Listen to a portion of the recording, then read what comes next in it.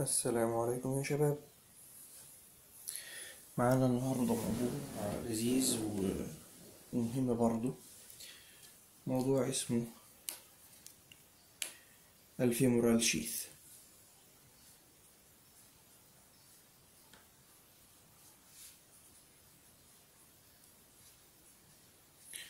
إيه موضوع ال femoral sheath ده يا جماعة؟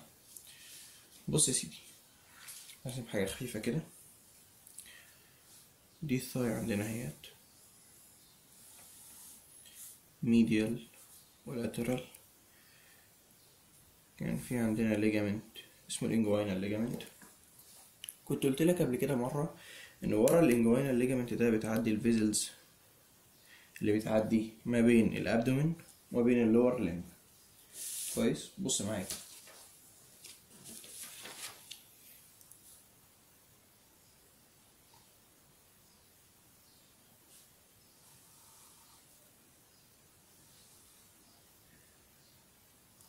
ده ال femoral artery في جنبه ال femoral vein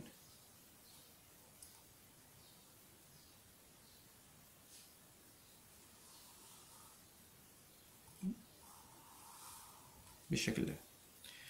الاقي بيبصوا على ال femoral artery وال femoral vein وهما معديين عشان يدخلوا لل lower limb لقوا إن في حواليهم fibrous sheath كده بيغلفهم بالشكل ده.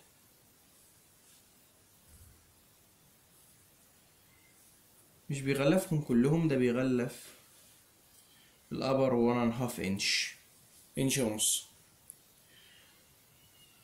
بشكل قمعي بالشكل ده كده فقال لك بس يبقى هو ده ال femoral sheath بتاعنا. دي sheath بتغلف ال femoral vessels وشكلها funnel shaped عند ال upper 1 half inch منه. طب لو أنا هتكلم عن ال femoral sheath المفروض هتكلم عن إيه كده؟ زي ما إحنا بنتكلم دايما. هتكلم عن definition تعرفها لا لسه قايله دلوقتي. بعد كده هتكلم عن ال boundaries إيه حدود ال femoral sheath دي؟ بعد كده هتكلم عن ال function وبعدين نتكلم عن ال compartments تقسيمة ال femoral sheath آخر حاجة هتكلم عنها عندي حاجة اسمها femoral canal and hernia. خمس حاجات المفروض هتكلم عنهم. بص كده معايا واحدة واحدة. إحنا قلنا تعريف ال femoral sheath ك definition ان دي funnel shaped sheath بتحد أو بتعمل surrounding بتلف حوالين ال upper 1 and half inch of the femoral vessels. سواء artery أو vein. طبعا زي ما أنتم شايفين كده ال vein بيبقى medial شوية وال artery بيبقى laterally له ال boundaries. عشان أقدر أتكلم على ال boundaries أنا هرسم رسمة كده خفيفة لل abdomen. بص كده معايا. أنا برسم شخص من الجنب. بالنسبة لي ده ال anterior abdominal wall بتاعه. ده ال anterior part of the lower limb دي منطقة ال buttocks.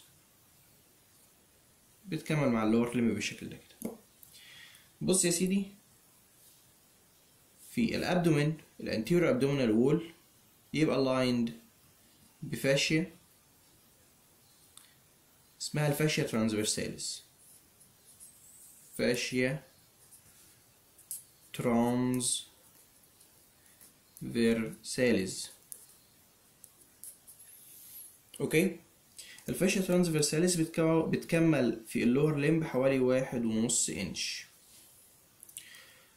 أما بالنسبة لل posterior abdominal wall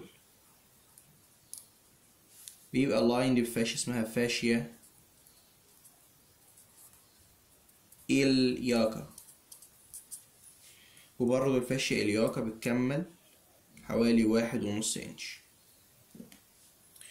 بص بقى كده فين ال canal بتاعتي؟ فين ال femoral sheath بتاعي؟ ال femoral sheath بيتكون بالشكل ده كده. في المنطقة دي كده. دي ال femoral sheath يعني من قدام بتبقى كمالة ال fascia transversalis ومن ورا كمالة ال fascia iliaca ما ده ال anterior abdominal wall وده ال posterior abdominal wall طب تعالوا كده. بص ال vessels اهي هتلاقيهم ماشيين فيها كده. ده ال artery وده ال vein طب تعالوا نرسم الجزء ده كده. لو قلنا هنا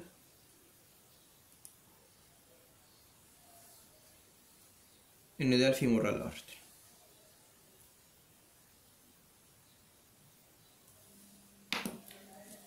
artery medially هيبقى عندي إيه؟ يبقى عندي ال femoral vein بهذا الشكل.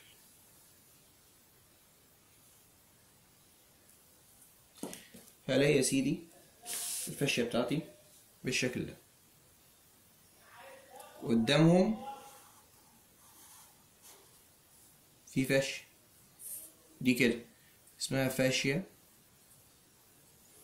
trans versalis ووراهم في fascia اسمها fascia iliaca ال fascia transversalis وال fascia iliaca بيتحدوا medially وبيتحدوا laterally عشان يعملوا لي ال medial wall of the canal وال lateral wall of the canal بيغلفوا ال vessels بالشكل ده كده.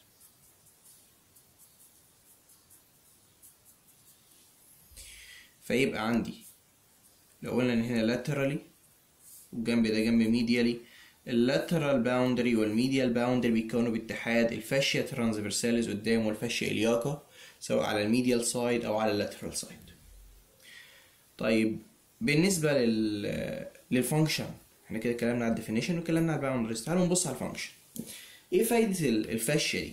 أو إيه فايدة ال femoral sheath؟ بص يا سيدي وانت قاعد كده على المكتب وانت قاعد على الكرسي بتاعك مش المفروض انت تبقى رجلك دي في وضع flexion ال thigh بتاعتك بتبقى في وضع flexion طب ال vessels اللي ماشية ورا ال inguinal ligament دي مش طبيعي ان أنا لما رجلي تبقى في وضع flexion ال vessels دي يحصل لها kinking تتني؟ لأن هم قاعدين ورا ال inguinal ligament جايين من ال abdomen نازلين لل thigh. فلما يبقى منطقة ال hip joint عاملة زاوية 90 ال vessels دي هتتني. طب مهتنيتها ورا ال inguinal ligament وورا الحاجات ال structures اللي ماشية في المنطقة دي. ممكن تقفل لي ال vessels التانية دي تقفل ال vessel بدل ما يبقى بدل ما هو ماشي straight كده هيبقى 90 درجة. فممكن ال vessel ده يتقفل. فقال لك وربنا يراك يخلق ال sheath اللي ماشي حواليه ده عشان يعمل له حاجة اسمها slippery movement حركة انزلاقية. ينزلق تحت ال inguinal ligament من غير ما يتقفل. يعني لو ده ال inguinal ligament ال vessels تعدي من تحته كده. تنزلق مع حركة رجلك وهي بيحصل لها flexion و extension عشان ما يحصلش له kinking أو occlusion ويتكون جواه جلطات. طب بيقول لك إن ال...